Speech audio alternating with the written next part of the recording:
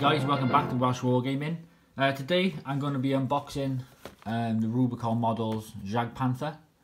Um, I'll build it and then I'll um, we'll have a chat about the actual tank and then we'll have a chat about the uh, the rules for it in bolt action, uh, second edition.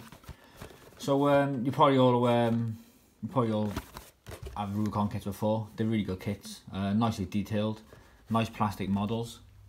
Um, I uh, got a few of them myself. So, as usual, instructions. Uh, transfers.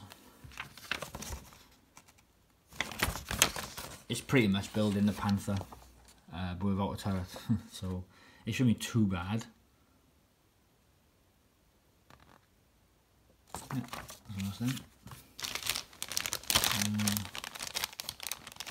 the actual kit itself. The main bit that looks really, is it looks a bit of a beast. Okay. Looking forward to building this. I'm looking forward to getting on a table to be honest with you. Uh, it comes with, it comes with both chassis. Uh, for the G1 or the G2 model, so that's pretty cool. Um, I suppose if you only use the one, you could use the other one as terrain. You could build like a blown up tank with it, maybe. Uh, road wheels, side skirts, the actual tracks itself, the different the different guns. But looking at them, there's not much difference. Uh, we'll have a bit of a chat about the gun uh, later on. You probably are the uh, 43 3, Pak 44 4, and then the L71. So uh, yeah, so looking forward to putting this together. I'm more looking forward to actually having a game with it. So uh, I'll put this together and then uh, we'll actually have a chat about the actual tank itself. And then we'll move on to the actual rules it in bolt action and have a bit of a have a bit of a look at its profile in the rule book. So uh, yeah, so uh, I'll uh, see you in a bit. Welcome back guys. So uh, I put the Panther together as you can see um, again, a really nice kit from Rubicon. Uh, even the gun traverses, look, there's degrees. Yeah, inside there is like a little ball joint. This, um, the one side sticks down, which allows the movement in the gun, which I think is nice. Um, if you haven't built, built a Rubicon kit before, um, I'd highly recommend them, to be honest with you. They are really nice kits. Uh, there's nothing wrong with Warlord Games tanks, but um, Rubicon kits are really nice and they do give you the option so if you do want to build, build a uh, specific type of tank most kits come with most options to build it like you could build you could build this well late war one but it's a G1 or G2 there's only slight differences but um you know if you want to be uh, if you're that way inclined you want a specific type of tank Rubicon kits do come with the extra bits and the instructions clearly show uh, which bits go with which model which type um, the actual extra bits that come with it, uh, you get the two type of um, hulls, uh, the G1 and G2. There's only slightly differences on the back. Um, you get you also don't get the extra wheels, otherwise you've got to build two Panthers in one kit, which is sad. Um, you do get though the extra guns and the gun man the gun mantlet. So while I'm looking at the kit that's left, if you really did want to, for like a scenario, whatever's left, you could stick on this and then um, sort of make this into a, um, a dug-in panther if you really, if you wanted to. So you're getting like two for one maybe. Uh, could be good for a scenario or something like that, like a dug-in panther along along a hedge line, and the enemy is trying to go take it out because it's causing havoc. Um, yeah, so it's nice that it comes with these extra bits. Like I said, if you wanted to, you could build a built-in one because it doesn't come with two um, two sets of wheels and tracks. Well, you could have had two Panthers, uh, Jagdpanthers. So yeah. So um, we'll have a chat about the actual tank itself, and then uh, we'll go on to the actual bolt action rules for then. So like all tanks, the main thing is the gun. Um, so it carries the, um, the 88 meter, uh, 88 millimeter, sorry, Pak 43, Pak 43 4, and all the L71. Now the Panther is it's based on the Panther tank as the, the name, the Jag Panther, which basically just means hunting panther. Um, in the Panther, it only had the uh, the 76 millimeter, although it was a, it's still a pretty good gun, high velocity gun. Um, we all know the Pak 43, is a bit of a a bit of a monster, and uh, the L71 as well. So um, the reason behind these German tank destroyers, um, turretless tanks, is basically I think the time late war Germany was sort of fighting a defensive battle. Um, so these are pretty good for ambushing. If you dig one of these in, um, you know, there's not a lot that can take them on. Um, the Russian IS-2, the tank, obviously if you flank them or get in the rear, um, like all tanks, you're talking about big issues. But um, the good, well, the difference between these and the um, the Ferdinand is the Ferdinand's gun was it had no traverse at all, just pointed straight. So it was not it, it could hit targets out, like a mile odd. But uh, you know, we get up close and personal way. You had you have to actually physically move the tank to move the gun. But this, although it only had a 22 degree lateral traverse, um, if you're sitting this 1500 meters away from an enemy, um, within 1500 meters away, you're looking like five or 600 meters um, actual aiming point. So if you had a couple of these along a stretch, you know, you're, you're out of a front, then there's not a lot you can aim at basically. Obviously, as things close in, the tank then starts to suffer.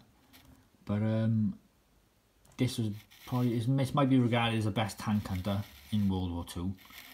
Um, it's a, it's a, I don't think they built that many. There's only like 300, uh, 350 or something like that, or only 350 actually made the front lines. Um, as all late war German tanks, they had trouble maintaining them, um, actually getting them to the front. Uh, fuel was short, um, spare parts were short, actually train crew were short. But uh, these were a lot easier to actually make than turret tanks because there's a lot less engineering without a turret. So, uh, but uh, it's a nice, it's a nicely shaped tank as well. So, um, yeah, the guns are the guns are pretty beast to be fair. Like we all know, well the uh, the German anti-tank guns, they're very good, or were very good. Um, so you're looking at uh, about 50 meters or 150 millimeters of penetration on the gun, which the IS-2, the, um, the highest armor value of IS-2 is like 160 millimeters. So, you know, you've got a good chance of taking an IS-2 out because uh, I think the 160 mil was around the turret. So if you hit, if you if you did catch an IS-2 in one of the soft spots, you're taking them out at 1500 meters, which is is a fair old distance, uh, especially in Russia on the steppes. It's quite open, which is a perfect tank fighting um, country if you want to uh, go that far. But uh, talk about the armour now. So um, as you can see, if you look at the shape of the actual tank, the front of the tank is nicely sloped. Nicely sloped. So the front armour is 80 millimeters, but because of the slope and the angle of the actual front armour, you're looking at about nearly 140 millimeters of armour. Obviously, just because of the angle. So just by dropping that angle down, you're increasing the armour value without actually adding any more weight, which with German tanks, the problem is was the um, the weight to ratio power was always was not enough basically. So uh, you're looking at the mantlet of the gun is 100 mil, 100 millimeters of armor. Um, you got the side and the rear then is 50 and 40, which you know you want the tank facing that way, um, sort of hidden, dug in, nice a nice uh, defensive position or ambush position. So uh, it's a pretty, it's a, it was a pretty, it's a, it's a mean tank to take on. Mean it's a very, very, um, very, very strongly armoured, really good gun. Um, I think it's a, it's a, really good tank overall. Uh, not enough of them were actually sent out or produced. It was a bit late to start producing tanks of this caliber. So um, it's like the Tiger 2 as well. Um, probably a bit overcomplicated. Um, it actually didn't actually make a difference um, overall. I think like, like say like local battles, they probably uh, you know they probably done his fair share, but uh, numbers always tell. Or if you've got Russia producing fifty thousand plus T thirty fours, and you know in like two years, and Germany's like sending out four hundred tanks because you know they're building them to last when Russia's just building them basically just to send. So uh, it's a bit. Uh, yeah. So that's the uh, that's the, the German way, I suppose. Build it the last, and uh, the Russians just sort of throw them out. Although the T-34 was a very good tank, so we can't take nothing away from it. Very, very well designed. Um, the actual Panther came about because of the T-34, because the T-34 and the KVs outgunned and out-armoured the German tanks uh, especially the Panzer threes and Panzer fours.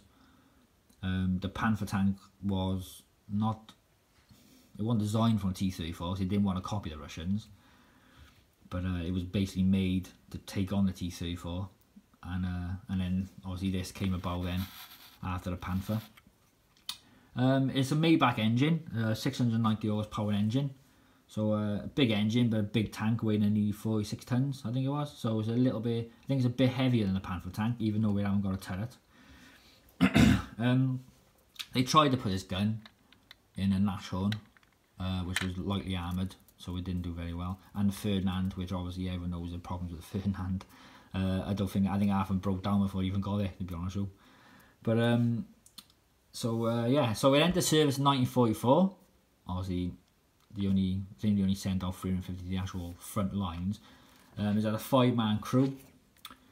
Um, so, yeah, so next I'll be uh, we'll be having a look at the actual bolt action rules for it. Uh, see what I can actually do on a tabletop. Um, we're soon I'll be playing a, we're playing a tank war battle. Um, I want to get this painted for that. Um, just to unleash it on some Shermans and some T34s would be pretty cool. Uh, yeah, so um, we'll go on now to the uh, the bolt action rules. Okay, guys, so um, the bolt action rules for this um, is 390 points regular or 468 points veteran, which is uh, if you're only pay, playing, excuse me, if you're only playing a thousand point or 1200 point games, that's a big chunk of your army. So um, they're not very competitive, I don't think. Um, it counts a heavy tank, so it's a 10 plus. So uh, it's pretty formidable, uh, but obviously you're relying on dice. So uh, with my dice rolls as well. So uh, yeah, so uh, it comes with um, Tiger Fear, which is always nice. And um, the gun is obviously classed as a super heavy anti-tank gun. And it's got a forward facing uh, MMG. So actually in game itself is a lot of points. Um, I I do I do play higher point games, um, just so we can take big stuff like this and you know because you buy the models, you paint them up, and you want to play with them because it is cool. Like we don't always play games like competitive games. We do just play games sometimes just to use the stuff we got. Um, if we're doing tanks with infantry platoons, we we play with any like three or four thousand points, which sounds a lot, but if you throw in a few tanks, it's not that much. You know, you're only getting a few tanks in here, especially German tanks. Like I think when we play, I think the we're always we're always outnumbered with the German armor, which is uh, well, historically correct, really, especially with the big stuff. Like I've got um, Panther, Tiger, uh, Sturm Tiger. Um, I got a couple of pans of Freeze. I got a Panzer four. Obviously the Jagdpanther now. Um, I got a couple of Stugs, which I like. I got a Hetzer. So um, I can feel the, you know a bit of um, a variety of armour. And um, the last game I played, I took the Panther. I used the Panther uh, my opponent had a T-34 and an IS-2 and uh, my Panther managed to take out both tanks which was pretty epic to be honest with you. Um, if you follow me on Instagram I think I put a I done a little short video for my mate Martin. And uh, it was funny to be honest with you but um, I, it was the first time he rolled out his um, Russian armour and uh, the Panther tank took them both out. So I was happy with that, he was very happy. But uh, yeah it was good dice rolling so yeah, so overall, this kit is a very nice kit and it is a very nice looking tank. Um, I'm looking forward to getting it on the table, but uh, I would highly recommend Rubicon model. So yeah, so uh, thanks for listening guys, and uh, I do appreciate you um, watching my videos and uh, you know leaving comments. I do read the comments and I do um, try and comment back when I can. So uh, happy hobbying.